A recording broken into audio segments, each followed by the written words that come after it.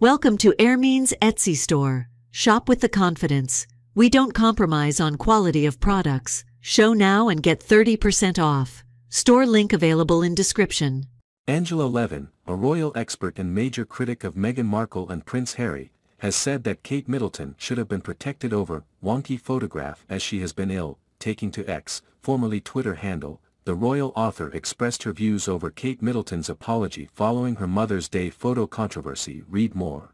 Piers Morgan reacts to Kate Middleton apology over photo controversy she said, I don't think it's been at all fair to have let Princess Catherine take the responsibility for the wonky photograph, she's been ill, is not yet better and should have been protected.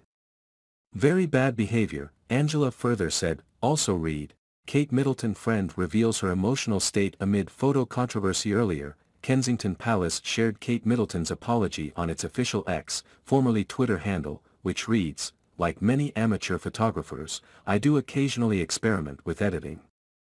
I wanted to express my apologies for any confusion the family photograph we shared yesterday caused. I hope everyone celebrating had a very happy Mother's Day. See,